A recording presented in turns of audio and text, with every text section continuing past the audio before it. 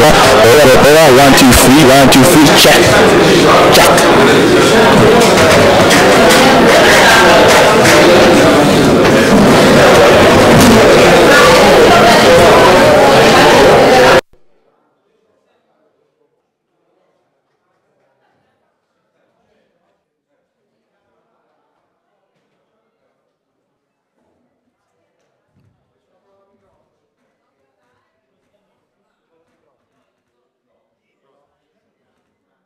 Ehi, ehi,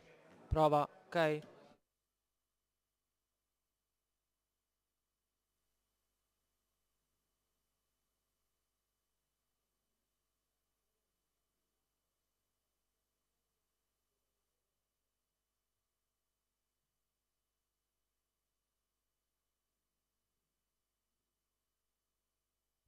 Ok, si sente? Prova? Sì. Mi senti? Ok?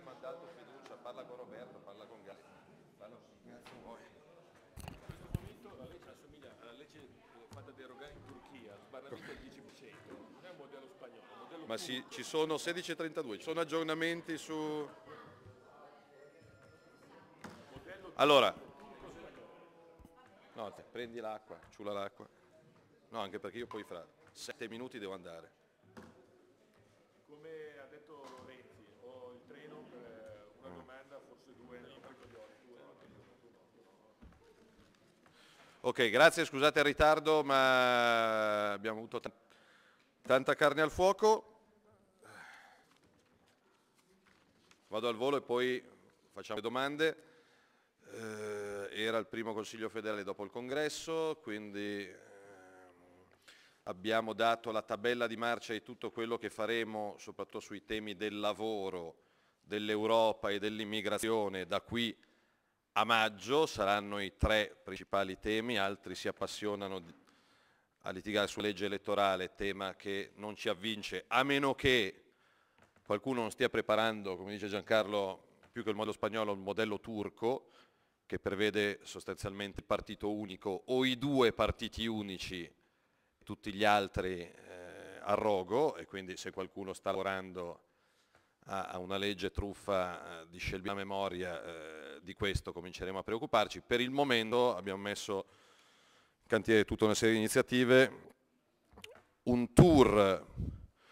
un, eh, un no euro tour, un euro exit tour che toccherà tutti i capoluoghi del nord e non solo, Milano, Firenze, Genova, Bologna, Torino, Padova, Bergamo, a partire da febbraio con professori universitari e imprenditori che spieghino in sale eh, grandi e presumibilmente affollate come un'altra Europa sia possibile e quanto siano maggiori i vantaggi di un'uscita e di una ridiscussione dei vincoli europei rispetto al mantenimento dello status quo. E poi un'altra serie di iniziative da fiaccolate in tutti i capoluoghi contro ogni tipo di nuova immigrazione, visto che ancora oggi il ministro Chienge ha preannunciato per gennaio la calendarizzazione alla Camera, in Commissione Affari Istituzionali, del disegno di legge sullo Ius Soli, quindi su questo il nostro impegno sarà assolutamente costante. Abbiamo confermato l'iniziativa in tutto il Veneto, non solo nelle città, ma in tutti i 500 comuni del Veneto per il primo e 2 marzo gazebo e raccolta firme a sostegno dell'indipendenza del Veneto con lo slogan l'indipendenza che conviene e quindi saremo presenti ovunque con le bandiere della Lega e del Leone di San Marco in mezzo ai Veneti per arrivare fino a Pontida domenica 4 maggio, quindi vi evito tutto il resto del dibattito eh, interno, però ci siamo dati questo cronoprogramma, comprese riunioni mensili dei governatori, degli assessori e dei consiglieri regionali da cui eh, usciranno proposte che riguardano tutte le regioni del nord che faremo contemporaneamente. Prima riunione delle quali è sabato questo eh, a Milano. A Novotel vi daremo comunicazione, comunque eh, i governatori, i consiglieri e gli assessori per uscire con due, tre, quattro battaglie forti comuni a tutte le regioni eh, ogni mese in contraltare a un governo che, che massacra, ecco, dal nord partiranno alcune proposte e risposte concrete. Questo è obiettivo raddoppio dei tesserati e degli iscritti rispetto all'anno scorso, perché però non diciamo tutto oggi, a questo stiamo lavorando, stiamo lavorando anche a alcuni quesiti referendari su cui cominceremo a raccogliere firme nel mese di marzo, però prima definiamo e poi ne parliamo. Questo è stato l'oggetto della discussione di oggi, un bel Consiglio federale partecipato, dibattuto, si è parlato di infrastrutture, di aeroporti, eh, di lavoro, di pensioni, eh, di euro, di immigrazione, non si è parlato del ministro Kenge, visto che si è parlato di cose importanti. Eh, detto questo, se ci sono delle domande, si è pianificata un'attività di evidente presenza sia alla Camera che al Senato, visto che questa settimana ritorna lo svuota carceri sia alla Camera che al Senato, e al Senato ci sarà anche il dibattito su, sulla demolizione di decine di migliaia di opere abusive a Napoli e dintorni, quindi diciamo che la Lega farà vivamente e vivacemente presente cosa pensa la gente del nord di alcuni provvedimenti, occupando, forcando,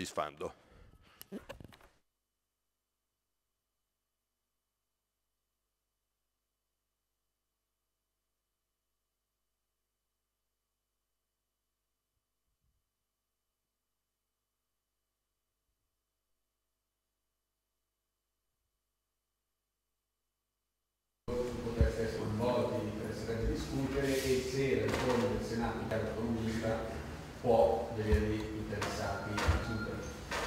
Sull'Euro stiamo preparando e verrà pronto a breve a cura di alcuni professori universitari un libricino che spiega la exit strategy parlando di tutto quello che è l'interesse del cittadino medio, le pensioni, il mutuo, il costo della benzina, il valore del mio appartamento e quant'altro, facendo un paragone tra la situazione attuale e la situazione futura lo stiamo preparando e, e, sarà la nostra una campagna positiva e propositiva. Ormai abbiamo spiegato, mi sembra che sia chiaro che i falli della luce, che questa Unione Europea e questo euro, che ne è uno strumento criminale, non ci vanno bene, eh, proporremo che cosa vediamo domani. Non solo in Italia, ma anche congiunture europeo ci porterà in Francia, in Austria, in Olanda, insieme a quei movimenti con cui abbiamo cominciato a dialogare da, da qualche mese sulla riforma elettorale, Giancarlo è sul pezzo. Come ha detto il segretario, aspettiamo la versione definitiva perché ogni minuto che passa ci sono versioni differenti. Al momento appare un incrocio tra il modello turco e il modello spagnolo, eh, cioè con, uh, in Turchia c'è uno sbarramento al 10% che l'Unione Europea più volte criticato quanto antidemocratico, adesso speriamo vedete delle versioni più prossime allo spagnolo che al turco, comunque in ogni caso quando ci sarà una proposta di deputata noi valuteremo, per il momento ci sembra che se l'unico obiettivo è far fuori tutte le voci dissenzienti e tenere in piedi soltanto due partiti non sia interesse del Paese,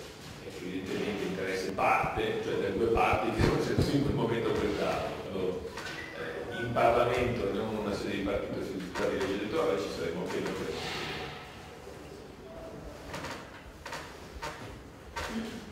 Come vi siete spiegato il fatto che Renzi non vi abbia coinvolto, per esempio, ha incontrato altri partiti come Fratelli d'Italia o Scelta Civica? Noi è arrivata una richiesta telefonica di incontro la sera per la mattina,